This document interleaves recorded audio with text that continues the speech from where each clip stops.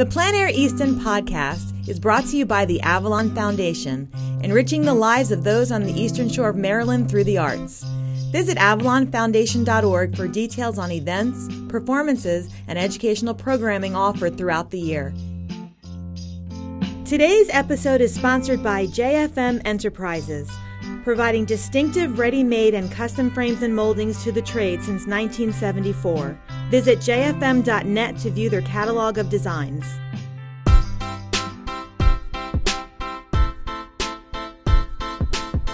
Yeah, Jeff, we can edit anything out of this. So if there's something that we actually talk about and then you think afterwards, hey, don't don't put that in, um, you we can we can cut it out for you for sure. Yeah. Um, but it's it shouldn't be that kind of uh, interview. Hopefully, I mean, I don't know what Marie knows about you exactly, but uh, maybe it could get that way. Who knows? Right. Yeah, and I, I saw that you're an artist as well, but I haven't seen your work, so I'd love to see that sometime.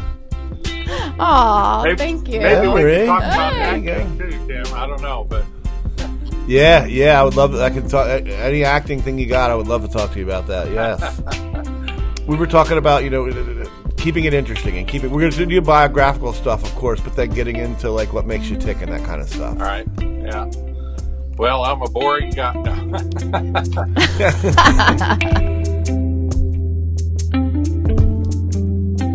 All right, welcome everybody to the Plein Air Easton podcast. Marie, we are here again. We're interviewing Jeff Williams today.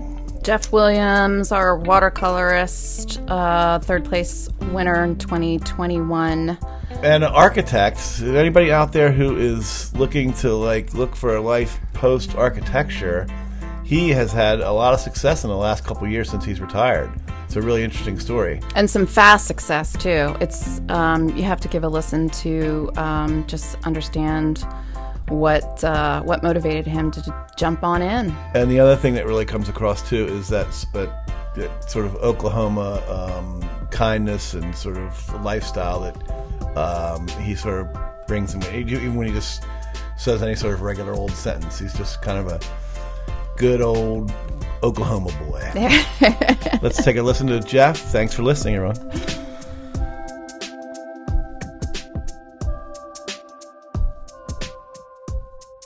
Marie, how you been? We're excited about today's guest, Jeff Williams.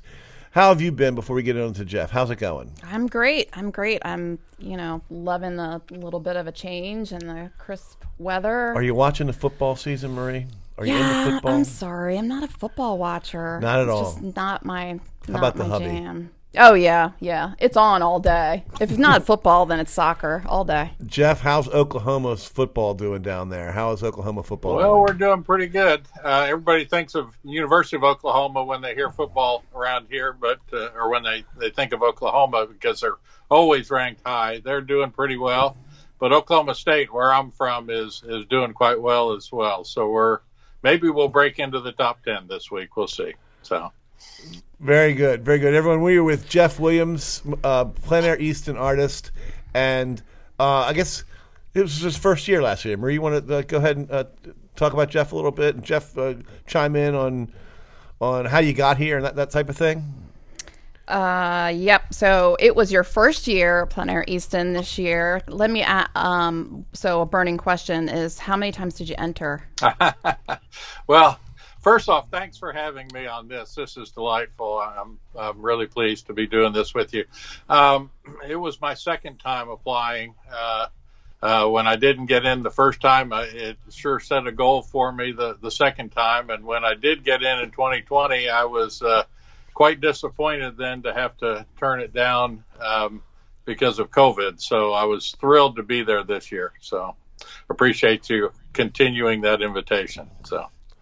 What uh, what what what do you mean, uh, Jeff, when you say uh, talk about getting into did not getting in the first time versus the second time? Uh, what what what did you do? Oh, I, I, I think I just developed a little bit more. Maybe it's a different judge. I, I, I'm not quite sure, to be honest, but uh, I sure was excited. I, you know, But when you said you set a goal for yourself, you know, uh, how did that how did that process sort of come out? Well, with, with applications like that, I, I don't know that you, in, in terms of goal setting, you, you, you hope um, you never know when you apply to plein air events whether you'll be accepted or not. You know, it's dependent on the judge and, and what they think of what you've sent in. Um, I probably tweaked what I sent a little bit. Um, uh, I had more to send the second time because I'd been on the circuit then for uh, a year. So um, that you know, that, I'm sure those things had some impact on it.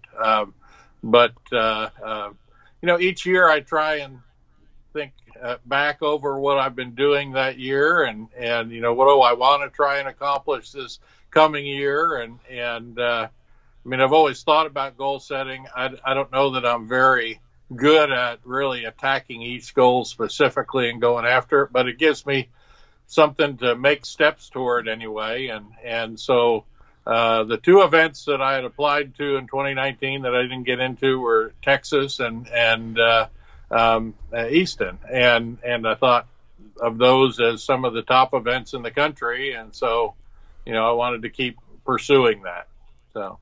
Did you end up getting into Texas? Because I know there's a lot of. Uh, yeah, uh, I did. I did, and uh, you know that's closer to home for me, and so it was within a day's drive, and they bent over backwards last fall to uh, try and make it uh, safe for the artists and for the participants. Um, uh, that came and, and sales were great. I had a fabulous event. I was quite impressed. And so that made me feel better coming into the events this year. Um, well, I know I know Texas boys don't like those Okies very very. They don't let them into everything.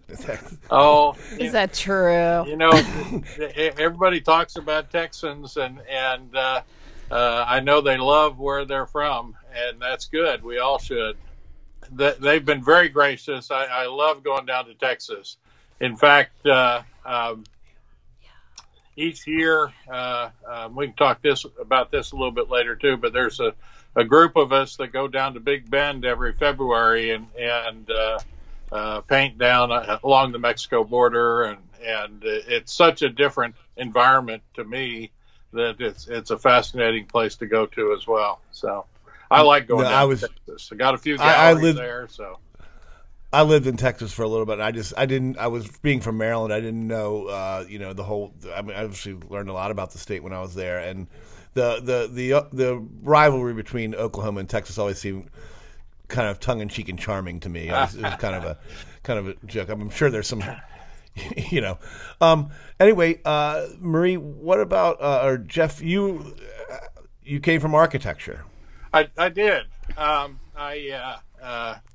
You know, my, my grandfather was an architect. I grew up in New Jersey, and, and he was an architect in New York City. And so anytime I was interested in something sort of artistic as a child, everybody just said, "Oh, well, you know, you're going to be an architect," and that's kind of what I what I believed or what I thought, and naturally pursued, and and I loved it. I I, I had an incredible amount of success there, and and uh, um, I uh, I was I, I've been quite blessed all the way through my life, I think, but. Uh, certainly um, uh, when we had the chance to move to Oklahoma, that was a blessing. It was a type of lifestyle and and a place that I had never knew about or thought was possible. Um, it brought me to Oklahoma State University, where I went to undergraduate and graduate school, and and uh, um, met an incredible group of faculty that were building at the time. Later became colleagues of mine when I came back to teach, but uh, um, they they pushed me into design competitions in architecture, which were national and international competitions. I won the top uh, architectural design competition when I was in graduate school, which uh, funded my way to travel in Europe for a year. Um, and so my wife and I sold our house and our cars and all our furniture, everything we had, and bought a little camper and traveled all over Europe that way. And that was really when I used my time to draw uh, or learn to draw. Um, I brought a couple books with me. You know, in architecture, you're expected to draw and present things, and but but you, uh, at least where I was, you were just expected to pick that up as you're working on design projects. And I always loved the the presentation process. Um, introduced the watercolor through architecture because it was a traditional painting medium.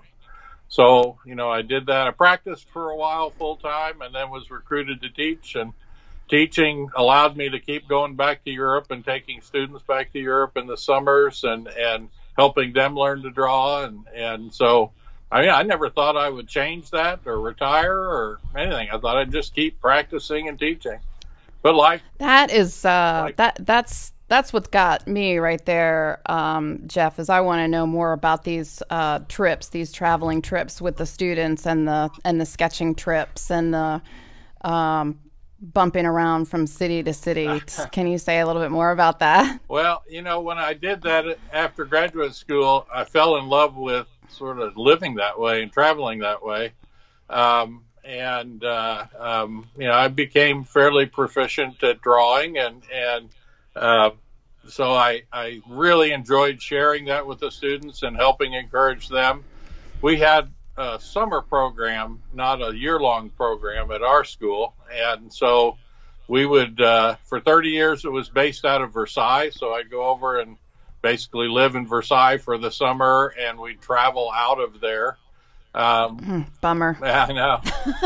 we later moved that to uh, to Rome, so then I had you know, several years doing that out of Rome. Um, but both were great. They were different, but but terrific. Um, but uh, um, I don't know. I considered that one of the great perks of of teaching. So, uh, but I, I, just I enjoyed teaching. I love design, um, and uh, I enjoyed helping the students with their presentations. And uh, I probably did more teaching of presentations to them than I ever had. But and you were painting buildings. You were painting buildings at this time, or, draw, or doing design on buildings. Was, Is that correct? Yeah, I was sketching when we were in Europe. We were sketching buildings and urban scenes, mostly in pencil, some in ink.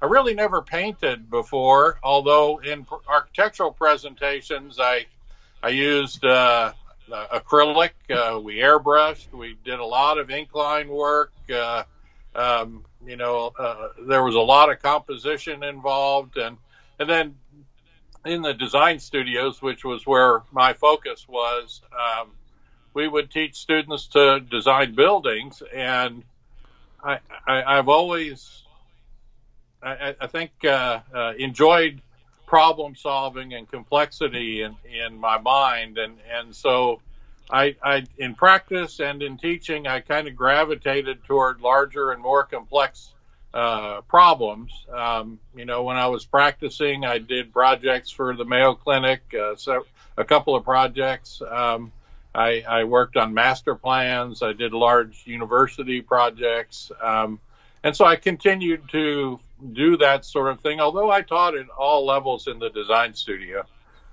I think what that gave me was uh, uh you know, a good solid grounding in in design, in composition, in understanding values, in drawing and understanding perspective. And so I had all those things, but I'd never really painted. And always, probably in the early 90s, I started really wanting to, to learn to watercolor paint or at least experiment with that.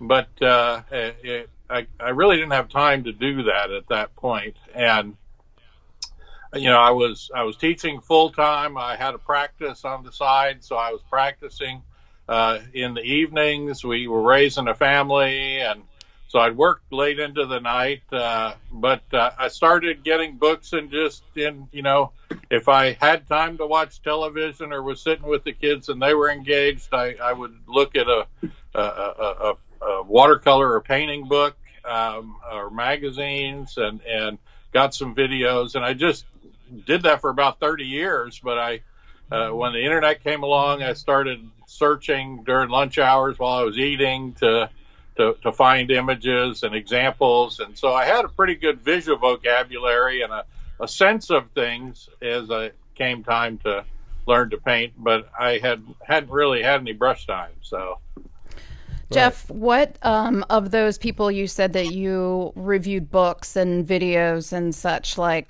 who were the big influencers in that time? Like what what books were you thumbing through and like were you watching Bob Ross or what are we watching here? no. No, I never really watched Bob Ross, although I know everybody jokes about it.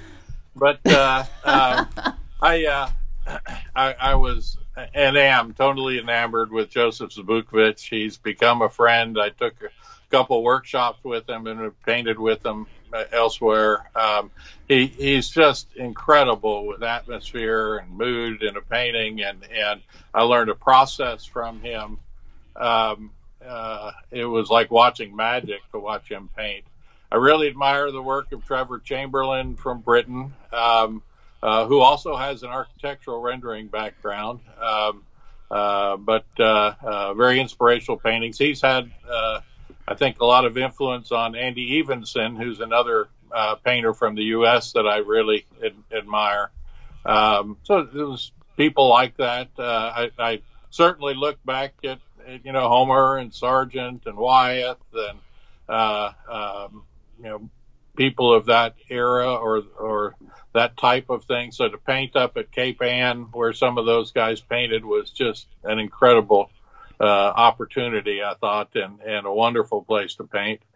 Um, uh, you know, I'm, I'm kind of blank here. Seago, uh, what painting did Jeff win with this year? What was his painting this year that he won with? He won. What did he win? And um, so Jeff was the third place winner, um, and that includes an automatic invitation for next year too. But so. what did he paint? What did he paint? What did he paint? A beautiful Oxford morning. An Oxford morning. So, uh, did anything that you did leading up to, you know, through Rome and through Versailles and is anything any of that information in that Oxford morning painting? Oh, sure, sure, of course.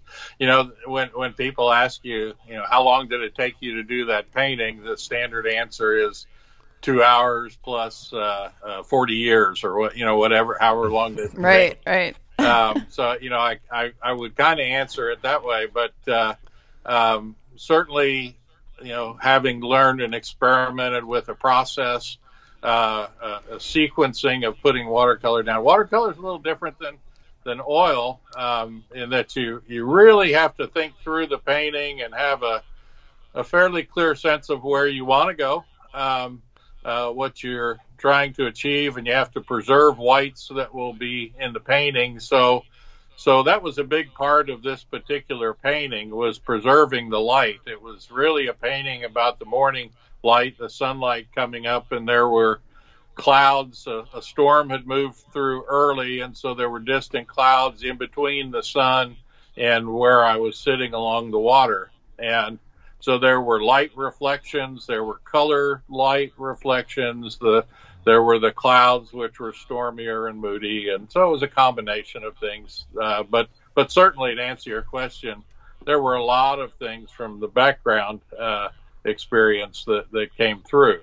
Uh, there was drawing skills, uh, you know, as you're painting, you're looking at values and, and trying to work uh, uh the balance, the overall balance of the painting out. Um, you know, my painting, I guess I was asked on a more sort of romantic level, like, oh, that blue reminds me of the blue when I was in Rome, or you, ah, know, or any anything, uh, you know, and it's not even a very good question, but um, just with that much of your life loving to do that, and and and you, you know. Uh, you, as you said, you know, I look, I love living my life traveling in, in those months or whatever. Is there anything in the architecture over there at all that reminds you of any architecture in America? Uh, what I loved about it was that it was so different from America. Uh, there, there's more and more influence on, on America, but there's such a, a historic base there. And really, when I go back to the East Coast, I feel some of that as well. Um, uh, you know, I, I was in Annapolis a few weeks before Easton, and and uh, you know the history and the character of a community like that, or a town like that, or a town like uh, Alexandria near you guys. Uh, those those types of places are fascinating to me um, and and uh, they have a little more of a European character, um, although the the history in Europe is longer, and the buildings that populate those places are older and you know different architectural styles in a lot of cases. Um, yeah, uh, I agree with that too. Like a lot of the a lot of the uh, historic East Coast towns and Tidewater, Virginia, and everything. Just a little, a little twinge of European yeah. um, flavor to them. But Yeah. but we we just these people. I mean, when you talk about the, the age of the buildings, you know, and you look at the ornateness of the buildings, um, they had years and years and years and years to build these things. Correct? Sure, yeah, uh, and, and and it's a community that's evolved over hundreds of years, not just a hundred years, like in Oklahoma. You know, we have nice historic buildings, but they're from the late 1800s, early 1900s in Oklahoma. It's older than Right. that on the East Coast. Um, but uh, you know, one of the other things that I um, uh, taught when I was uh, uh, at the university was uh, uh, the history of urban form, and and uh, I would sometimes put planning projects or urban design projects in the studio, the upper level studios. Um, and so we would talk about how a city develops or a community um, uh, uh, occurs and why a town starts where it does. And, and um, And I was kind of going towards more Jeff towards like how much different that would be than painting a barn. You know, Uh, that's kind of where I was kind of like sort of like Yeah, you know, one of the interesting things, yeah, I think I understand what you're getting at, and, and I actually paint a lot of barns because, you know, they come naturally to me having done the architecture. Um, Right. But, uh, uh, and, and I like the age, the, the, the, the fact that most of these barns are, um, have a history, um, like the towns that I would paint, uh, or sketch rather in, in Europe. Uh, Okay. And, uh, so, so I did like that, but, uh, uh, as, while I find buildings and towns natural to, to paint or comfortable to paint, let me put it that way, what I've really, really enjoyed are doing landscapes, which is something I hadn't done very much before.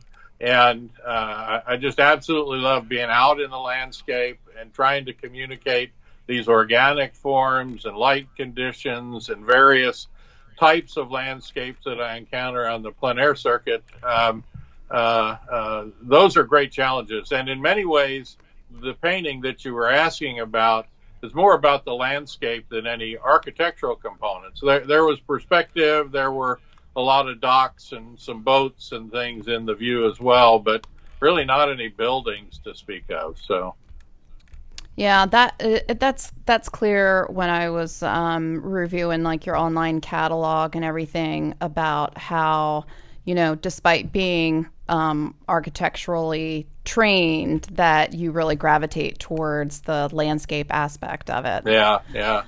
You know, I, I I've always loved being outdoors, and as much as I thought I'm going into architecture, I did toy with the idea of going into forestry or landscape architecture because I used to love to hike and fish and uh, backpack and you know do those things too. So this is Yeah, the way now you can do them all. Yeah, connect back to some of that. Right. Put your easel in your backpack and go to some little remote location. Take your bear spray. all Right. Jeff, can we let's um, tell us a little bit about how you um, how you segued from your career to plein air art and how how how did you like did you always know about the circuit or how did you stumble upon that? Yeah, good question. I, I have I have had no knowledge of the circuit.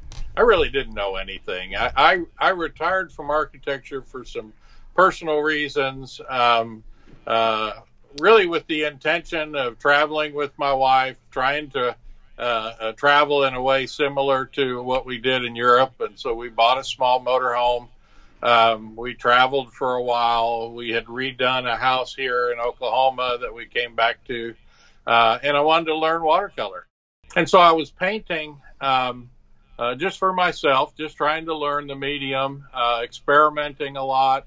Uh, and I, I did one of the uh, uh, what's the um, the Strada challenge. The Strada easels uh, has Yes. a, a monthly challenge twice a year to do a painting for 30 days in a row and post it online. Well, I was a little intimidated about posting, but I thought this is going to be a good way to learn. So I, I signed up for that and posted and, um, gosh, I was kind of surprised at people's reactions, and people started asking to buy the paintings, and and I didn't win the easel, but I I won a lot of other things through the process, and you know I developed a website then because of that, uh, but I still was pretty novice, and and I did that a couple of times, but. Uh, and I had taken a couple of workshops, and, and some from Joseph, some from Tom, one from Tom Schaller, one from uh, uh, Tony Van Hasselt uh, up in Maine, uh, an old time watercolor painter, um, and and so I had some things to build on. In in one of the uh, Joseph Zbukvic workshops, I met and became friends with Dick Sneary, Richard Sneary, who's been east yep. quite a number of times and he's kind of become a mentor for me in in uh, the the painting world, especially. He comes from the architecture side as well. He was one of the top architectural renderers in the country before he uh, transitioned to fine art, and uh, he was very encouraging. And he kept telling me about the plein air world. Uh, in fact, he's the one that started the Big Bend trip and and invited me to be part of that and and he stayed. In fact, he's going to stay here tomorrow night. We're all on our way. Oh, nice. To, yeah, tell him we said Beaker hey. Here. Yeah, we've got a couple guys staying here before we head down to Plein Air, Texas this year uh, on, on Wednesday. So. Uh, Matt Barber Kennedy's coming through and staying with my wife Friday night. so, uh, nice. I, I love the community that's happened, but it all happened, you know, initially because of that connection with Dick and he eventually started pushing these these uh, plein air competitions. And I said, you know, I, I have no interest in that. I don't think that's for me. You know, I. I, I did so much competition throughout my architecture. Little did you know he was luring you to the dark side. I know.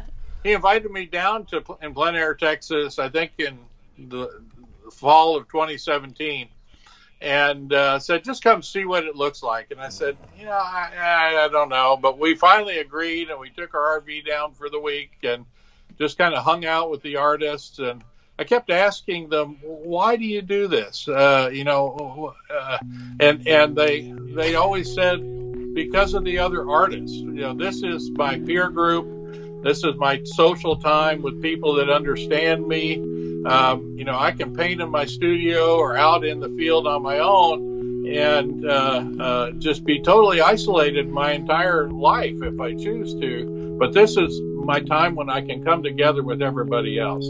And I liked the sound of that, and they were incredibly collegial. Um, and I found that to be uh, true all the way through my experience with the plein air. Um, and the other thing that really sold me on it are two things. One is there was competition, but it it was more competition with themselves than with uh, other people. They weren't trying to beat somebody as much as they were trying to do the best work that they can. And um, the the successes seem to get spread around uh, from event to event, uh, judge to judge, um, uh, better painting to better painting. You know sometimes you don't do your best painting, sometimes you do, and, and hopefully that gets rewarded. But uh, the, the competition side of it wasn't as intense between people as I thought it was going to be, and I liked that. Um, I love the competition with myself. And then the other thing that just gets me pumped up every time I do this is when the show goes up. And you know, if you've had 30 or 40 painters at a place, or in your case, 58, you know, and, you know, maybe they do 10 paintings, maybe they do 15 paintings, whatever. Think about how many paintings those are that, that creates, you know, hundreds of paintings that all come all at the same time from incredibly talented artists, some of the best people around the country, and it was all done right there, looking at often the same subjects, so many different ways. And there's so much learning that goes on there that that just really, really excites me still.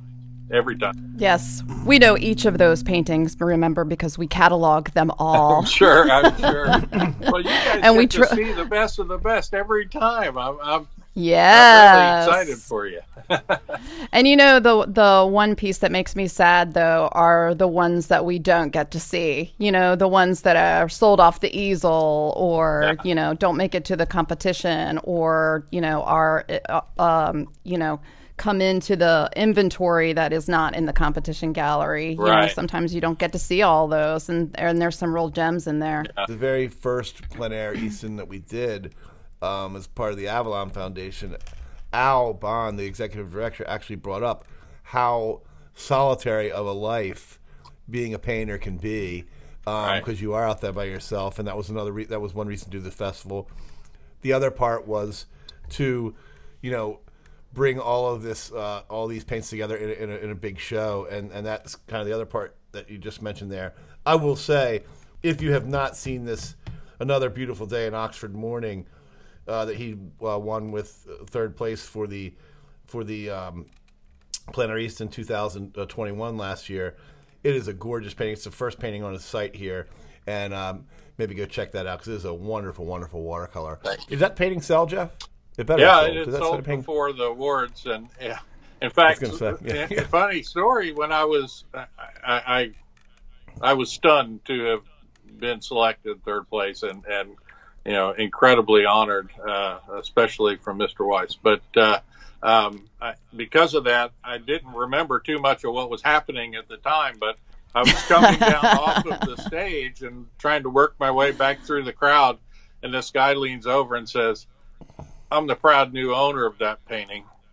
And I was, yeah. and all of a sudden, I wanted to meet him and find out about him and take pictures and all of that, and everything else was going on, and and it was a funny time, but yeah, it did sell to a gentleman that uh, is, uh, I think, from Virginia. So, right, great, great.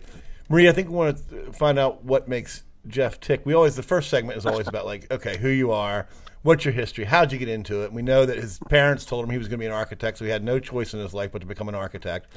And he did that with. Is great, that kind of it in a nutshell? He Jeff? did. He, he did that with great aplomb, and, and, and totally loved it because he got to tour Europe being an architect with teaching kids and that kind of thing. Um, but you're new at this, Jeff, right? Yeah, you're yeah, newbie yeah, here. Pretty new. Um, yeah, well, so this is only your th- your third year. Is that is that true? Yes. You said 2018 year. So Mm-hmm. Uh, you know, I, I painted through 2018 kind of on my own, and uh, Dick kept pushing these plein air events. So I thought, well, I'll I'll apply to some and just see if I can get in one. So I just blanket made applications based on everything that was advertised in the um, plein air magazine, and um, uh, focused on things east of the Rockies because I had family back east still, and uh, thought that would be a, a good way to, to get to see family if I got in something. And, and lo and behold, I got in 12 of 14 that I'd applied to, which, you know, I was stunned again. And, and, uh, you know, I hadn't planned any of that. So some of them overlapped. I had to turn a few down, but I, I did probably eight, I don't know, nine, something like that and I was going back and forth across the country because there was no plan to how I was going to do this. Um, so I, I think I traveled about twenty five thousand miles that summer, and and twenty five thousand miles. Yeah, yeah, it was a lot of driving. Did you end? And, did uh, you end up making a plan? Did you get? Did you get a? I mean, the next year I applied you, with more thought. but uh, meaning what? meaning what? Experience. You know, I any plein air experience is a, a, a, valuable learning experience. It's different than painting in the studio. You're confronted with everything out there and have to figure out, you know, what your focus is going to be, what a painting's about, how to compose it, uh, um, and and you know what makes helps you make that choice. There could be a lot of things that are talked about in that process, but um, then in addition each event is in a different part of the country and I was so new every time I went I was painting things I'd never painted before. I was in places I hadn't been and experiencing those. The weather varies uh, the you know there were just constant things that impact the the painting that you're doing and and I just found all of that really stimulating and really interesting and and um, the, the they began to take me to you know I had opportunities to paint in the bayous and to paint water and to paint boats and or shrimp boats and then to paint you know recreational boats on the east coast and do water scenes. I hadn't done a lot of water before and to do mountain scenes and I had never done mountains before and waterfalls up at the Canadian border and hadn't done those before and uh, the Gloucester coast and painting the surf and the sea. I'd never done that, you know, and, and, you know, each time, uh, there, there were so many different things that were new experiences It just created an incredible way to, to, to learn and to grow rapidly. And, you know, I just started looking, well, it, I don't know if I can do this or not, but I'm going to just think about each painting as an experiment as an experience to learn from, and and hopefully I'll be able to make something nice out of it. And I've been able to pretty consistently do that. You know, there have been a few that I haven't turned in, but uh, uh, not too many. And I think as, going through that process, my skill level built. So when you ask about what did I do differently in strategizing or applying to Easton, I think I had some better things to to to uh, enter with for sure. Um, you know, I won some awards in the process and and sold paintings, and those were great. Yeah. Um. So I have a question because doing 12 events out of 14 events in your first year and knowing all the things that you or some of the things that you have to cart around with you and you know you're in a different location like you said like it sounds exhausting. Like what did you do to um you know like refill your cup and and nourish yourself after all that or keep your head straight. I mean well, that's a that's a good observation. I i, I did feel some of that. Um, uh, uh, i didn't know i was going to feel that either. I love to travel. I love to be on the road so i looked forward to that part of it. Um, uh, but it, it's it's very tiring, as you say, and, and it's mentally exhausting as much as physically exhausting. Uh, we sold our RVs uh, because in the plein air activities, you know, housing is provided, at least the ones I was applying to, that was always a, a need. And so I got a little minivan. Um, I thought my minivan days were over when the kids grew up, but uh, uh, I, they come in handy. I, I carry a bed in it. I store things. I've got a r- rack on the roof that I carry things in. But you know, there's always stuff that comes up. Um, when I was coming to Easton, I, I was on, that was the end of an eight week road trip for me without my wife. I was really pretty homesick at that point when I got there, but I was bumped about Easton. And, uh, um, I had done Annapolis and Mountain Maryland earlier in June and then saw some family and went up, uh, to do a commission in Connecticut and, uh, you know, kind of killed time in between the events and I had taken all of my frames, JF frames, by the way, uh, and, and put them on the, in the roof rack in the container, and uh, you know, kind of left them there for a couple of weeks. And and I started thinking as I was heading to Easton, oh gosh, you know, it's been really hot, and that container is black, and uh, I hope those frames are okay. I'm really worried about them. And I get down to my host in Easton, and I'm unpacking and anxiously, you know, uh, uh, opening up things to, to get to the frames. And the entire container had about three or four inches of water in it. All my frames had been soaking in water for a couple of weeks, no. and I didn't know it. And I, oh, you know, I freaked out. I thought, here goes fifteen hundred or a couple thousand dollars worth of frames, maybe, you know. And and I'm trying to spread them all out and dry them, and um, thinking, well, I, I, I go see what Pat has at you know when he gets here, and well, I got him. I, I only lost one frame, and I I, I thought this Good was frame. incredible. I went back to JFM and sang his praises so much. but when I got exactly. there, somebody already told him the story. When I told him my name, he said, "You had water problems." oh, Pat, we love Pat. But anyway, sorry, Jeff. Do you think? Do you think that uh, you should have been painting your whole? I mean, I'm just asking because you got into 12 or 14 and you're starting to sell. And um, do you think you should have been painting your whole life?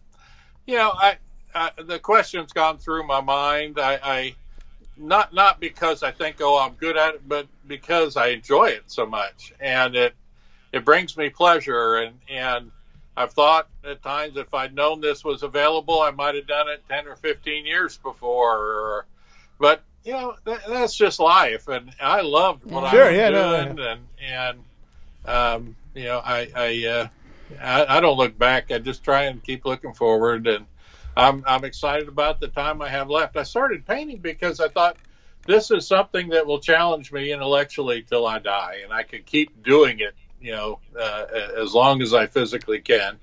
And, and this is just an extra bonus to, to painting, you know, is to be part of doing this now. I didn't realize that I needed the sort of intense stimulation that the events has brought me. I, I love one of the things I love about doing paintings is I will get totally engrossed in it and everything else goes away. You know, I just have to concentrate that much and think about what I'm doing. And, and so if I have a lot of interruptions or uh, whatever, sometimes that, that doesn't settle as well. Although I love visiting with people like, like I am with you guys now. So I love visiting with the, um, uh, you know, the patrons uh, if they come up, but uh, at the same time, I, it, it does affect my concentration. So I often try and find more remote places to paint. One of the reasons I love doing the landscapes, but um, you know, Which another thing that we had talked about too in over the years is that um, painting had become sort of like the new golf for a lot of people that didn't want to take up golf because, well, it, it's kind of funny. You've been talking actually, to Eric whole, Rhodes. no, no. Although, uh, He actually got that from us, but I won't believe it. Well, there you go. anyway, well, no, the reason is because of the competing with yourself. I mean, Yeah. golf is the same sort of thing. I mean, you try to, you want to win, but you're really playing against yourself, and it, that's what sound with the painting. You're you're always challenging yourself, you know, and that's the same kind of game golf is, and that's kind of how we went to that. Um, Interesting. Well, I that- didn't know that. When he when he said that, that kind of reminded me of like what um, a, a long distance runner or a marathon runner will say is, you know, they get to the point where they're in the zone and, you know, it's that it's it's that painting zone, you know, like a like an athlete gets. yeah, especially with the concentration you just mentioned, where you block Right. everything else Right. out. Yeah. yeah. Um, uh, and I, I guess maybe that goes away with you know if you've been doing it for 20 years, you're able to block excuse me block things out easier. But um, it certainly seems like because it is part of the festival. I mean, we do Right. hear artists say that that like, hey, the people coming in, you know, uh, but you have to do that in in in, in these plein air festivals Yeah. for sure. to some degree. Have you ever right, had, yeah. have you ever had anybody mess up one of your paintings, Jeff? No, no, of course not. I'm a big guy. They wouldn't dare. No. there you go. Um, Now, you know, one thing that I thought of though while we were talking about that that I wanted to say while we're on the air is that I was so impressed with Easton, in, especially in the fact that here you guys are, the top event in the country. You know, you've been doing it for a long time. Everybody looks at what you're doing to uh, model theirs after, and yet six months before the event, you guys are emailing the artists to ask for ideas and things to do new. You know, you could have just been doing the same things you're doing. And I know you were coming out of COVID and trying to reprocess things that you learned in COVID and stuff, but uh, then it also seemed like you listened to a lot of the things that had been shared and you made changes to the way you did things this year. And to me, that was that was incredible. You know, to have the top already wanting to keep getting better, and that's how I think many of us try and think about our painting too. So that was really appreciated. Thanks. Well, thank you very much, Yeah, Jeff. That is you. Marie, and and uh, she is the she runs that event um, and has really taken over the event over the last you know I don't know five years, Marie, um, where you've really become yours. Before it was like okay, well let's bring somebody in to help with the event, and maybe Right. she'll eventually do it. So. Um, and Marie is excited about it, almost obnoxiously excited about it at times. I have to be very, very honest about it. Um, you, you know, you can kind of tell in her voice when she's doing these interviews, uh, and she does it year round. No I mean, that smile. uh, no, yeah, well, that doesn't hurt, but she does it year round. You know, they do. She does it year round, and Yeah, we're all we're, we're constantly brainstorming. What's you know we we're not going to get stale. I, that is a that is a fact. Well, we, well, yeah, we I will mean, not dial it in. But it does take work. It does take uh, you know i- i- asking the staff and asking the participants, especially when you know we might make a mistake. I mean, uh, we're not above saying we made a mistake, or and we're certainly not above uh, noticing them. I mean that uh, we are painstaking about like what didn't go well, and um, thankfully over the course of 17 or 18 years, we've limited those things. So That's how you learn, Uh, though. So yeah, and we have a good laugh, and you know, we're like, how can how can we do better? Yeah, but the event has become something uh, special for the town. I guess. Uh, I don't. I'm just curious about like when you come to Easton, uh, Jeff. And this is. I know that there are other places. I know you're going to Olmsted next or something. Are you wanting to surprise somewhere at Olmsted? Is that correct? And then you talked about Cape Ann and Texas, and I know there's a big scene in California. But when you come to Easton, you hear that like and it could be any any town in America, but you heard about the big plein air festival. This is the one you want to get into, or whatever. What were you expecting? Was could be any better than, or could somehow earn the recognition as the best? And what were you expecting? And and did it, you know, uh, sort of like meet your criteria for what you would expect out of the best? And I'm not talking about Easton, just in general. Like how does how does it? I mean, we do plein air. We don't go to a whole lot of plein air festivals. though. No. we go to conventions and things like that. But I'm sure it's just as charming in Cape Ann. I'm sure it's just as charming in Olmsted. Is it the sales in Easton? Is that what it is specifically, or or Um, you know, I'm always most concerned with producing the best paintings I can, and to me, that's really why I'm doing this. And and the sales are good and necessary. The uh, I love meeting the variety of people that are there. I love experiencing different places. Um, but when you guys organize an event that's organized for the artists to try and produce their best work, that's really, really appreciated. And I felt like you guys did that. Um, and, Right. and, Okay. and that, that was the type of thing that you were responding to in answers to those questions that you asked. And, Right. and that was so appreciated. Um, you know, I've done some events that feel like they're organized for the convenience of the event spot or the event organizers, you know, um, and, and they're sometimes in that process disruptive to the process of doing paintings or they, you know, they're organized to try and maximize sales. So they try and put you in contact so much with the patrons that it's disruptive to the painting process. Trying to find a balance of all of those, I think, is necessary because it has to be organized well. It has to be um, uh, uh, to, to raise funds for you and sales uh, uh, for the artists. Uh, um, uh, uh, it's a balancing act? yeah, it, it is, but but I think you guys you already have a history of great sales, and you have that patron base built.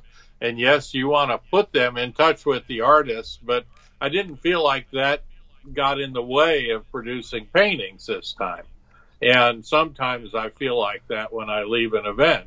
Uh, so it's a tricky thing to achieve a balance like that, I think. And, you know, this is just the artist perspective. I've been really interested to hear some of your interviews, like with Susan at, at Cape Ann, or when when your team sits down and talks about the process of putting the event together. It presents other views besides just this artist's view. But uh, there's a lot involved in pulling one of these together, and, and I admire what you guys do. Well, congratulations, Marie. Yeah, thank, thank you. you. and thank you, Jeff, for that answer. And like I said, I, you know, we don't want to talk about East. I, I was just like, I started hearing these other names, you know, because I'm involved, you know, peripherally with the festival, and I do this podcast, and you start to hear, you know, some festivals go away. But then there's other ones who are who are getting stronger. It seems like, and, and that's good for painting in general, art the art world in, in Right. general.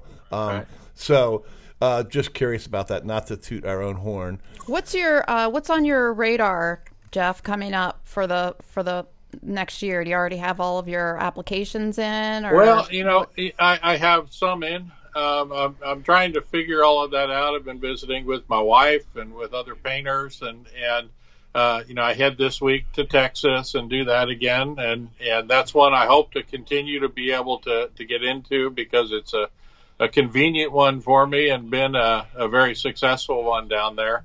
Um, uh, you know, I, I don't want to be running around doing 25,000 miles and being on the road eight weeks and all of that. Uh, I found that, at least for me, at the point I am in life, that's pretty tiring.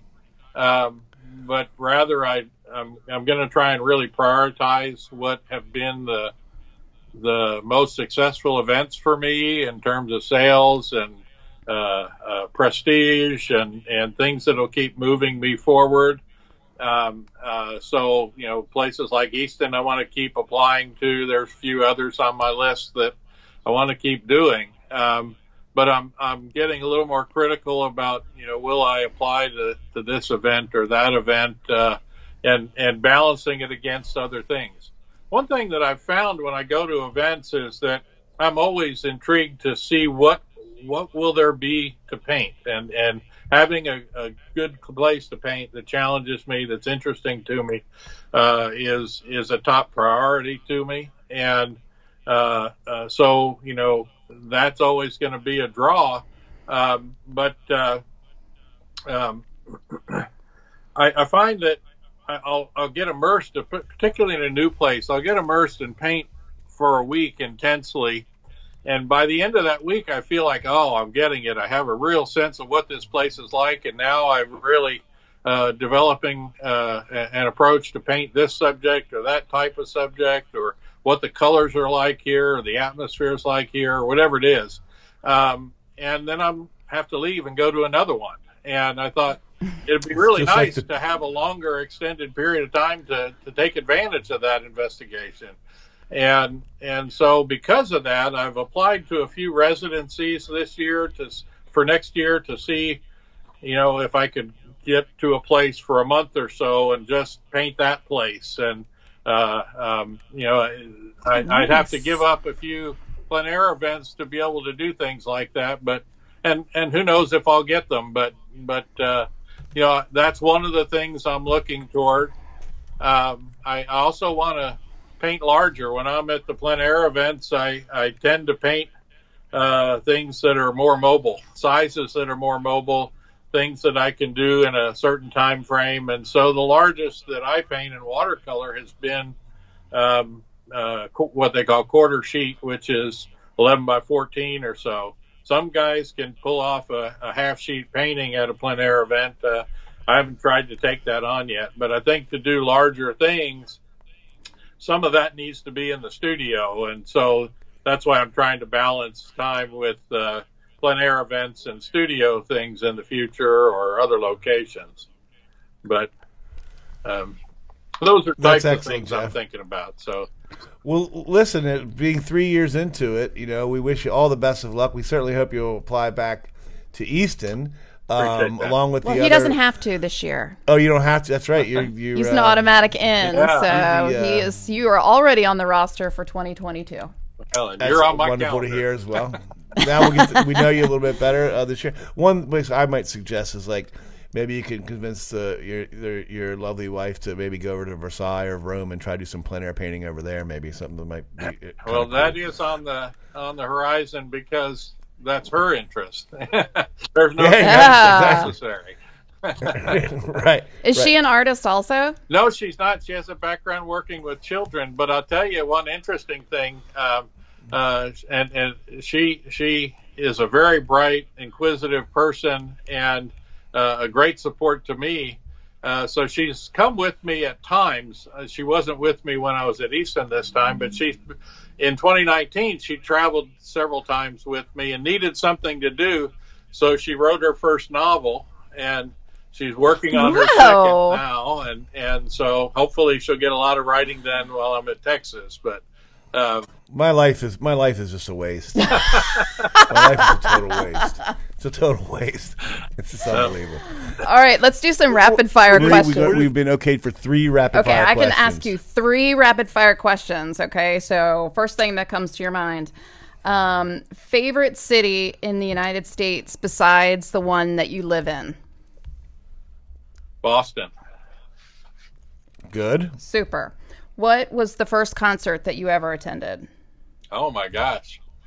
Well, that's going back, but uh, I don't know. But but we host uh, uh, house concerts here, and I love musicians. I loved having Betty Sue there this summer, Uh-huh. and uh, one of the teams that we hosted here one time have become good friends, and they won the Grammy for the best bluegrass album in 2017, I think. So. No yeah, these are good Who people, were they? Who, were, so- who were who were they? Who were they? well, we it was probably had the them here. O'Connor Family Band is how they won it, but Forrest O'Connor Okay, gotcha. and, and Kate uh, uh, O'Connor are uh, um, uh, the two that we spend the most time with. So We'll try to get you some. We do a lot of bluegrass up here too. they would uh, be Jeff, a so we- fabulous uh, act to bring to to uh, To the Avalon. Avalon at some point. Yeah. Last re- last five per hour question. All right, last rapid fire. Would you rather speak every language in the world or be able to talk to animals? I, I'd be. I, I'd like to speak every language, certainly. And I've got one more for you, being an Oklahoma boy. Uh, cake or pie? Yes. Good. Jeff, thanks for love it. spending some time with us today. We really appreciate Thank it. you. You And guys are, are delightful, and I sure appreciate you having me on. So, Thanks a lot. look forward to seeing you next summer. Woohoo! Stay safe. See you. Bye. Bye bye. Thanks, Jeff. The Plein Air Easton podcast is brought to you by the Avalon Foundation, enriching the lives of those on the eastern shore of Maryland through the arts. Visit avalonfoundation.org for details on events, performances, and educational programming offered throughout the year. The Plein Air Easton podcast is produced by Nick Richards. Our theme music was generously provided by Blue Dot Sessions, with additional episode music by Poddington Bear. Remember to rate, comment, and subscribe. You can learn more about Plein Air Easton at pleinaireaston.com.